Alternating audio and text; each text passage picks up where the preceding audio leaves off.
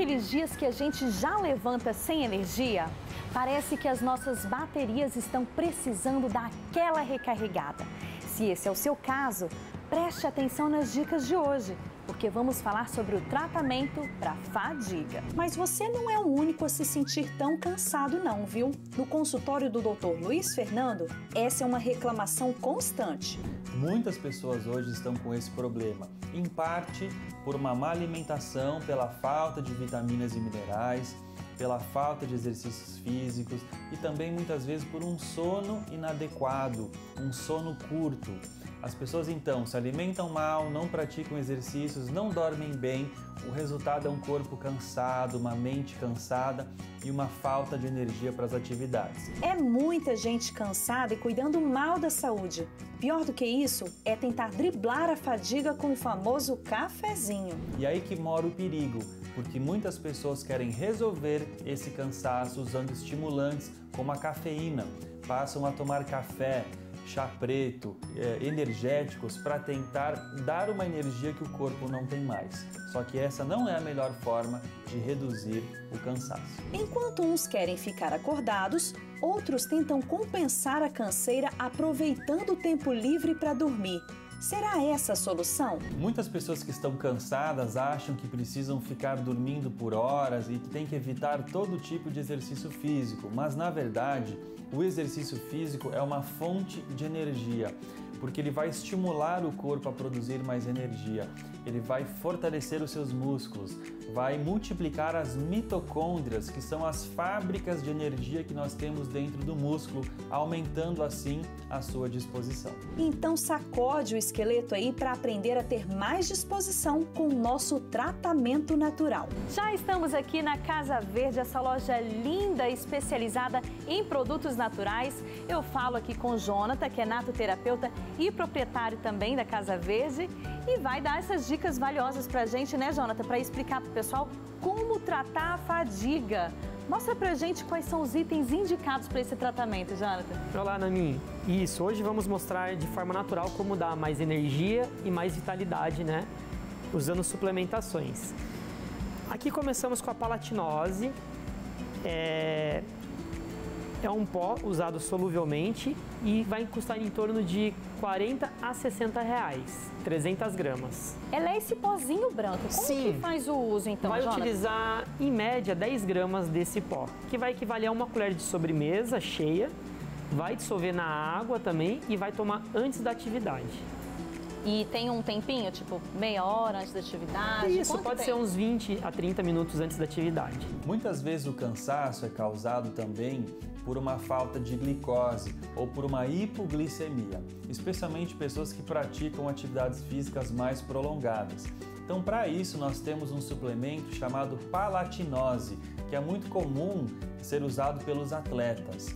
A palatinose é um carboidrato de liberação lenta. Então, quando você consome esse suplemento, uma quantidade de açúcar vai sendo liberada lentamente na circulação, mantendo os níveis de glicose constantes, especialmente durante uma atividade física. E isso fornece ao seu corpo mais energia. E aí, o segundo item qual que é? A gente tem duas versões aí, né? O segundo item é a maca peruana, bem conhecida já há milhares de anos, na verdade, né, usado pelos maias. E você aqui tem a opção em pó e em cápsula. Os valores são muito diferentes dessas opções? Varia um pouco, mas não muda muito. Por exemplo, o pó, 200 gramas, você vai gastar entre 20 a 30 reais. E a cápsula, 60 cápsulas, nessa média de 30 reais também. No caso da cápsula, eu recomendo de 3 a 4 cápsulas ao dia, podendo ser de manhã ou no período da tarde. E o pó, como eu vou demonstrar aqui agora, vamos estar utilizando em média. Ah, é para dissolver, né? Isso. Uma colher de sobremesa rasa, vai misturar em meio copo de água, vai estar mexendo bem e tomando. Ele dissolvido direitinho é só. Só dissolver legal e tomar. Pode ser na parte da manhã também, por ser um alimento energético, geralmente a gente recomenda usar na parte da manhã. Agora tem que mexer, não pode Tem que bater mexer no bem. liquidificador, por exemplo, não. Pode também, mas com a colher ele já é só mexer bem com Já a é colher que ele já vai né? dar uma dissolvida boa. Essas plantas medicinais, elas ajudam a modular o funcionamento da glândula suprarrenal, dando um pouco mais de energia para as pessoas. Só um detalhe: não devem ser consumidas por um período muito prolongado. Não são plantas para você fazer o uso contínuo. Elas podem ser usadas por um período curto de tempo, enquanto você faz outras modificações no seu estilo de vida que vão devolver a sua energia natural. Jonathan, e o nosso próximo item qual é? O nosso próximo item é a coenzima Q10, que é um nutriente que o nosso próprio corpo produz. Essencial para a vitalidade, para a energia e para a saúde coronária também.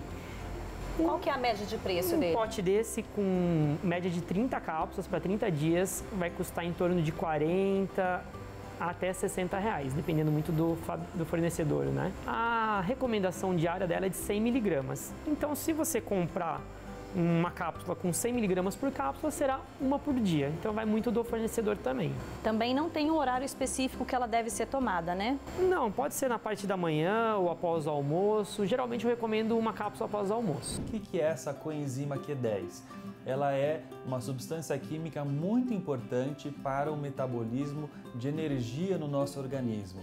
Ela atua lá dentro dos nossos músculos, dentro das nossas células, nas mitocôndrias que são as usinas produtoras de energia.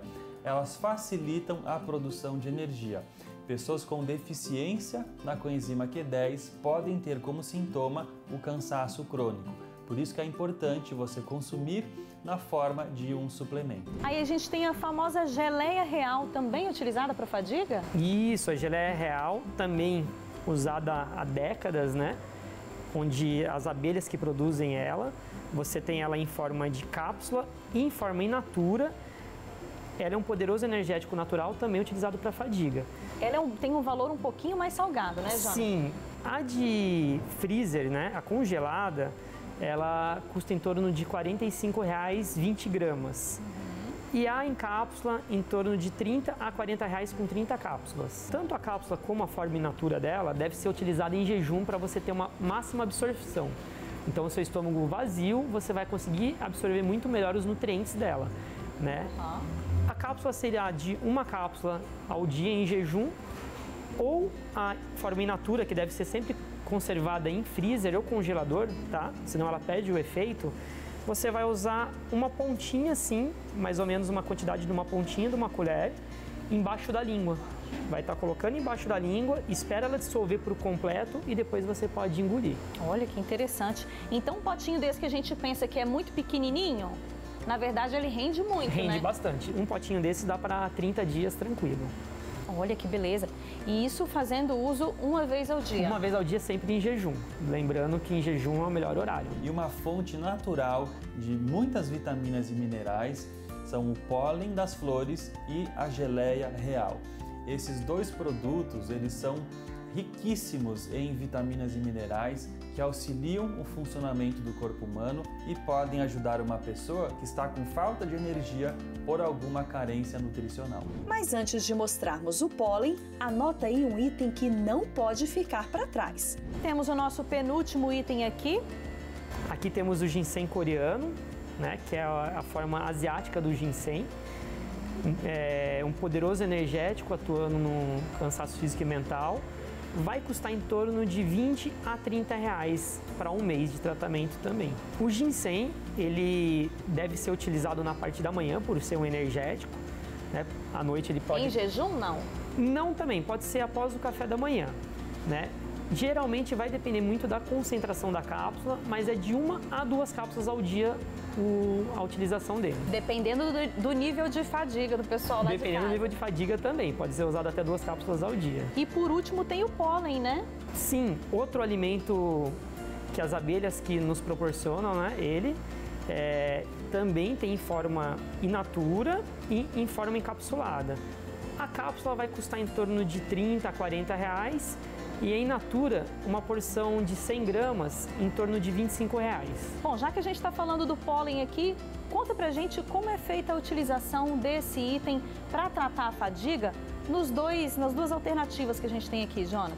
Começando pela forma in natura dele, vamos utilizar aí uma colher de sobremesa ao dia, podendo ser misturada a frutas, a iogurte natural, a um suco, né? Um alimento seu de preferência. Tem, então não tem um sabor forte, né? Ele tem um sabor mediano, mas com esses alimentos ele vai bem. Ele não vai bem, por exemplo, num prato de comida. Aí já não combina. Mas com uma fruta, com iogurte, vai muito bem. Ok. E aí tem o encapsulado dele. Como que a gente o faz encapsulado, uso? normalmente são duas cápsulas ao dia para fornecer a dose diária e recomendada do pólen. Junto a duas refeições ou não? Não necessariamente, não precisa ser junto às refeições. Olha, Jonathan, muito obrigada pelas dicas preciosas que você passou aqui. Com certeza vão ajudar muito o pessoal que está em casa, viu? É um prazer, né, mim sempre estar tá podendo trazer informações né, e dicas boas aí para o povo de casa. Eu tenho certeza que você aí de casa ficou feliz com tantas informações e você vai poder procurar aí várias opções para colocar sua fadiga com os dias contados. Na semana que vem nós vamos falar sobre outro problema com tratamento natural e você não pode perder. Eu espero.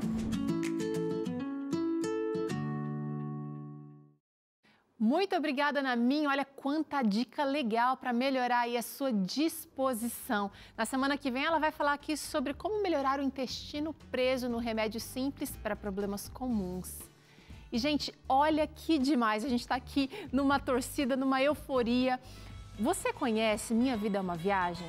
Pois bem, olha, o canal no YouTube Minha Vida é uma Viagem está quase, quase ali batendo um milhão de inscrições. E a gente quer contar com você agora para acessar e a gente gostaria de chegar nesse um milhão hoje. Hoje, você tem filhos, você tem sobrinhos, você tem netinhos. Acesse lá no YouTube, youtube.com minha Vida é uma Viagem. Lá tem as músicas que ensinam as crianças valores importantes para viver bem nesse mundo. Lá tem músicas que vão lembrar também as histórias da Bíblia, músicas que vão trazer é, alento, resposta e muita informação de boa qualidade para os nossos pequeninos. youtube.com, acessa lá, youtube.com, uh, Minha Vida é uma Viagem, você vai ver esse canal. E aí você vai no botãozinho vermelho aqui, ó, e se inscreve. Clica lá, você pode ativar também o sininho para receber as novidades, para saber quando chega uma música nova, quando chega um videozinho novo por ali. E vocês vão aproveitar muito esse canal. E a gente quer chegar juntos hoje nesse um milhão, nesses um milhão de inscrições aqui no Minha Vida é uma Viagem. Aproveita agora que a gente vai fazer um intervalinho. É, a gente vai fazer um intervalo agora. Na volta tem receita para acessar o canal aqui. Combinado? Ó, na volta do intervalo, vai ter esse soufflé de legumes por aqui, então eu espero você.